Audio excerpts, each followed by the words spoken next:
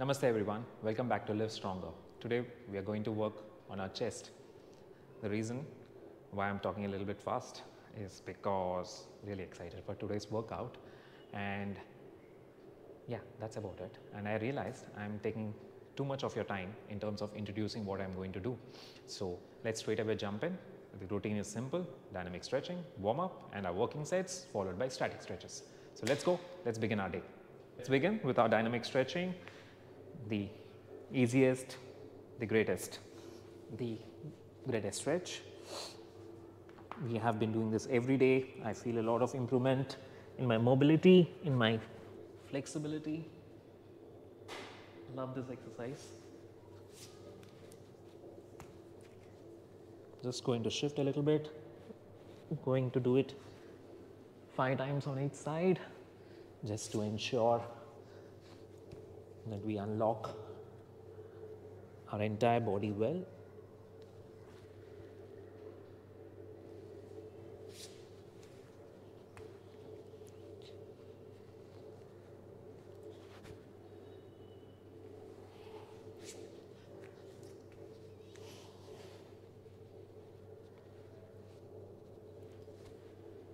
If you're still find this particular stretch a bit challenging, let me take this particular repetition a little bit slow for people who are still finding it a bit challenging. One knee down, one leg up. Take your other hand, place it down firmly. Now slowly push the leg which is on your knee as far as possible, feeling a stretch on your inner thigh and once it is as far as possible, now squeeze your glutes and your hamstrings to get it straight. Once it's straight, I'm sorry, squeeze your quadriceps to get it straight and your glutes squeeze. Once it's straight, take your arm and push it under the other one and then rotate up, feel the stretch on your upper back and relax. Simple. If you're still progressing with the exercise, you don't have to do the rotation, just practice getting on your threes and taking the leg back, squeezing it up, holding there for some time, dropping it, switching sides. Once you have mastered this portion, you can then try reaching in and rotating. So, that would be easier. If you feel any kind of tightness in any muscle in a particular spot, I always tell this use foam rolling to release the tension. If you don't have a foam roller, you can use your hands. If you have a massage gun, you can use that. So, any kind of massage to release tension from the area is good. So, we are done with our one unique or the special stretch. Let's move on for our warm up. For my warm up, I am going to do the usual chest flies on the machine which is available with me. If you have a cable crossover machine or the cable machine with you, please do the exercise on the cable machine. If you have this particular machine setup, you can do it on this one. The action is basically bringing your arms towards the midline of your body and that is majorly done by your chest muscles. It's a job of your chest muscle to move your arm towards the midline of your body. So, by doing this as a warm up, we are basically making our muscles work, get blood flowing there and get ready for the weightlifting. So, let us go. Simple. I, I just loaded a little bit of weight, not much challenging, just to provide get me a little bit of resistance. That is it. We are going to do up to 20 repetitions. Make sure when you are close by, you squeeze your chest together, feel that contraction, feel that effort which your chest has to make to get the hands into the midline of your body.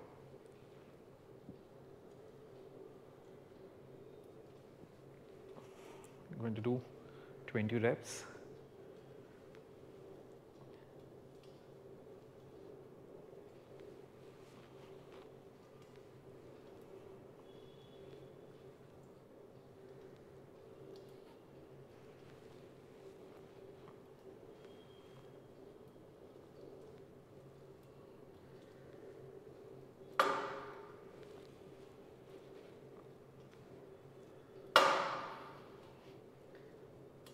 I'm sorry.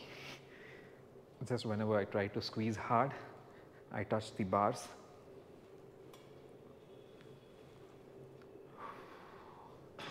Done. Remember to keep breathing when you're doing the exercise. Don't hold your breath. You might feel a little bit out of breath once done with the warm up. My chest feels, my chest feels a little bit warm. So that's been effective. Now let's go for our second warm up. For our second warm up, we are going to do one set of decline bench press. If you don't have a decline bench, you can use a flat bench press for your warm up. So it's pretty simple. You want a decline bench, take a couple of light dumbbells and then take a position where you can push them efficiently as powerfully as possible and then bring them together towards the midline of your body. Simple. During every push, remember to squeeze your chest together, feel the contractions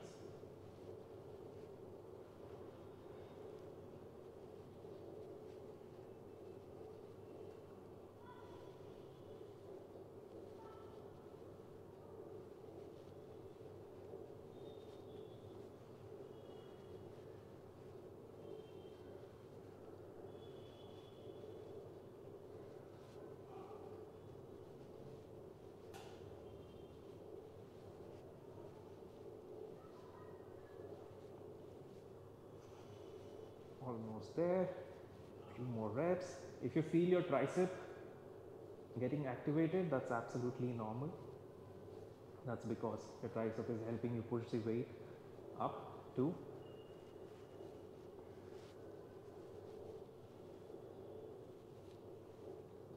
and that's it. Done with our warm-ups. Now take a very short break 30 to 60 seconds and then we begin with our working sets so for my first exercise, I'm going to do incline bench press. I've taken a challenging weight. I hope for you too to take a challenging weight. And let's begin. Push up. Get your shoulders down, chest up. Keep your elbows a bit closer, not completely wide out. Wrist absolutely straight. And push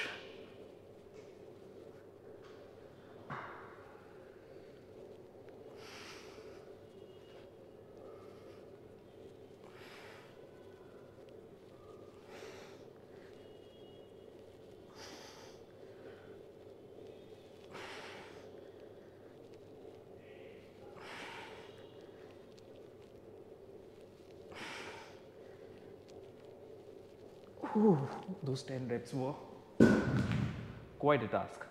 I had to drop the dumbbell because I had no more energy left. That was good. Now we take a short break and go for our second set. Go for our second set. I have dropped the weight a little bit. That's fine. These dumbbells are still heavy. Let's go. 12 repetitions is the target.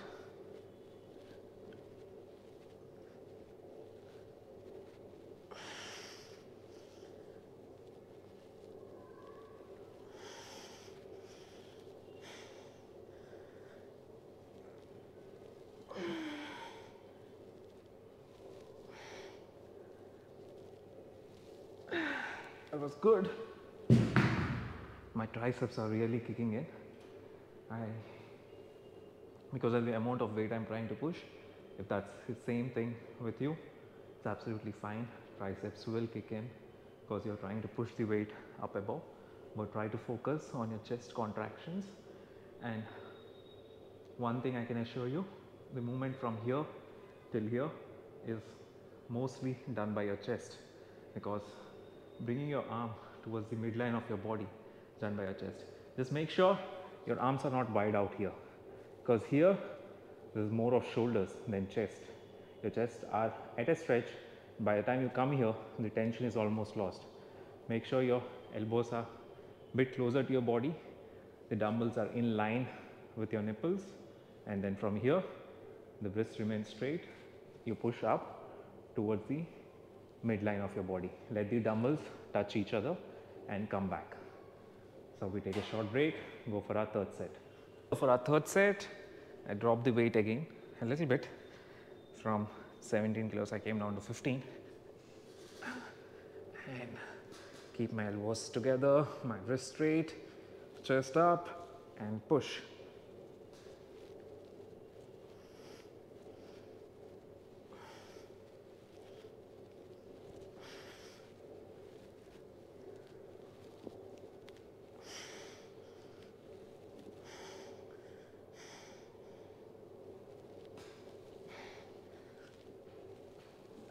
The last one was really tough.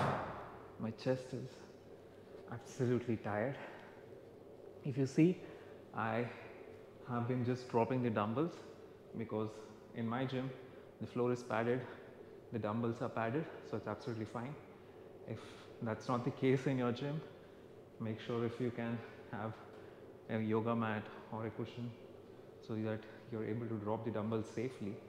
Otherwise, you can just stop here, slowly take the dumbbells towards your hips and once you are relaxed, caught your breath, put them down one at a time. We're done with this exercise. Now let's go for our next exercise after a couple of minutes. For our second exercise, we are going to do chest flies. We have done this in our warm up. Setup is similar. Make sure the bar is set up just uh, at your shoulder height and when you're wide open your chest is at a stretch so that when you come you have the maximum amount of contraction. I have loaded a challenging weight and let's see where it goes from here. So let's go. 12 repetitions is our target. Two, three, four, five, six, seven, eight, nine, ten, eleven, twelve. That felt good. I think I can take the weight up a little bit more. We are going to take shorter breaks because I don't see a reason why we have to wait for a couple of minutes between a uh, machine assisted exercise. So after 30 seconds, we go for our second set. Let's go for our second set. I bumped up the weight a little bit. So you can do the same. And let's go. One. Yep, good contractions. Two. Three. Four. Five. Six. Seven eight, nine, ten, eleven, twelve. Oof. Last few reps, I felt it really challenging. My upper pec was all fired up. So that was a good set. Again, short break, we go for our third set. For our third set, have the weight increased a little bit. One, two, three, four, five, six, seven, eight, nine, ten, eleven. 12. Oh, that was really challenging and we are done with this exercise. Now, to move on to the next exercise, you really don't have to take a break because we'll be trailing an entirely different muscle. So, what I'm going to do is just shift the camera a little bit behind so you can see that we're going to now start doing our donkey calf raises. So, no break required. We don't have to spend time in between these two exercises. Then immediately shift and start with our calf raises. Again, we're going for failure or near failure repetitions. Here by failure, I mean wherein your calf feels extremely tight and you're no more able to push your heels up. Range of motion is compromised.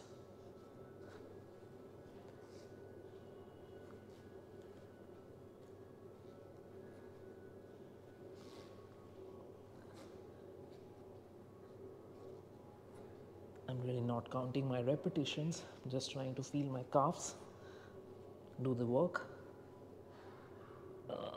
They're almost tight, and I'm done. So now we take a short break and go for our second set. So for our second set, my calves are still a bit tight, but that's fine. We're here to push. So let's go one, two. Let me stop counting my repetitions because I'm just going to go till failure.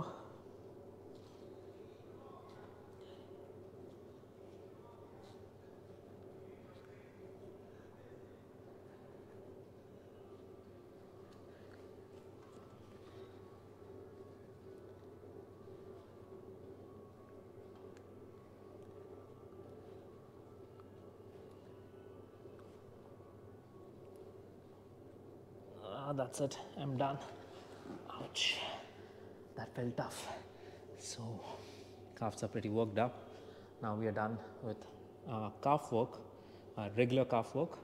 Now let's move on to our third exercise. So for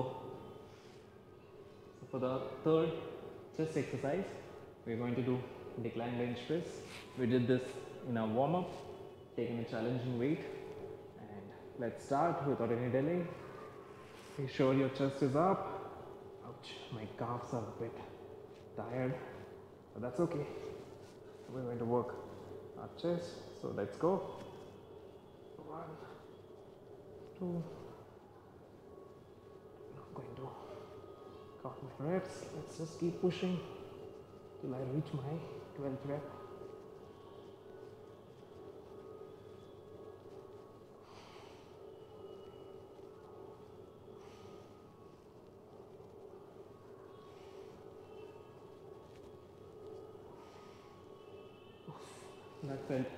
challenging. So now I can show you if you're on decline setup and you want to keep your dumbbells safely, stop like this, get your dumbbells onto your body and slowly one dumbbell at a time you can drop them. You don't have to get up the dumbbells because you're already at a decline angle that would put unnecessary stress on your lower back while you try to get up. We are done with our set one. We'll take a short break and go for our set two. Let's go for our second set. I bumped the weight a little bit. It's feeling confident. Chest up. One, two, three, four, five, six, seven, eight, nine, ten, eleven, twelve. That's it. Let's go for our third set. Increase the weight again. Press straight. Chest up. One, two, three, four, five, six, seven, eight, nine, ten, eleven, twelve. And we are done with this exercise. Take a short break. Whew, that was challenging. We go for our next exercise. For the last exercise, going to do our dead hangs. Building our forearm strength, grip strength.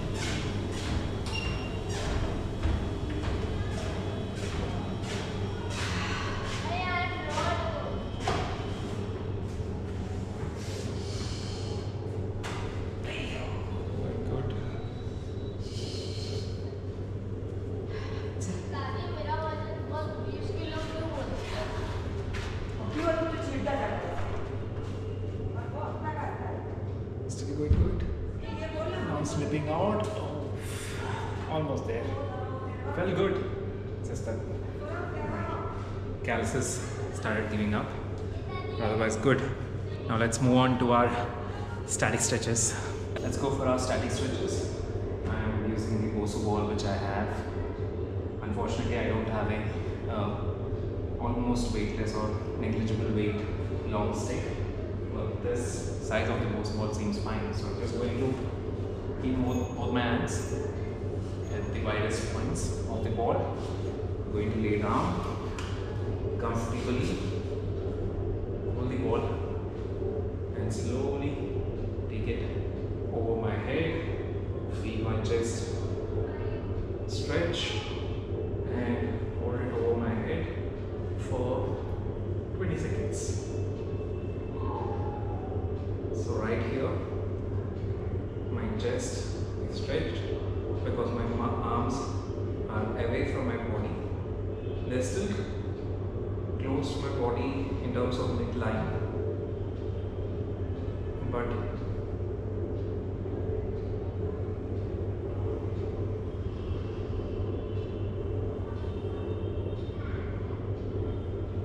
it's 20 seconds. Let's take a break. Few seconds. And then go for it again. Do it a couple of times.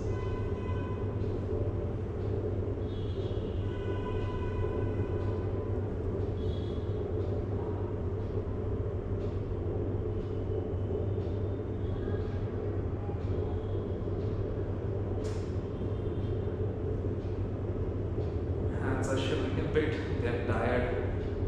All the heavy lifting they have done today. That was good. That's a wrap. Thank you for joining me again. Uh, if you liked the video and you have enjoyed your workout, the workout was pretty simple. We did three sets of three exercises simply to build strength in our chest, get it, get a lot of blood flowing there, and finished off with a static stretch to get uh, to make our chest go back to its neutral length. So yes if you did enjoy the workout please do like it. If you have any feedback drop a comment. If you haven't yet subscribed i request you please do subscribe. It gives me a lot of positive feedback in terms of pushing myself. Uh, the reason why today's workout is short because today's workout was entirely focused on trying to lift uh, heavy and be a little bit explosive so if that's not the case wherein you couldn't lift heavier you were still sticking to the weights where you started a couple of weeks back that's absolutely fine. You have nothing to worry about. It's a building process. Take your time go through the movement and feel your muscles contract every repetition. That's more important than lifting heavier weights. On that note thank you so much for joining me. I'll see you tomorrow. Have a good evening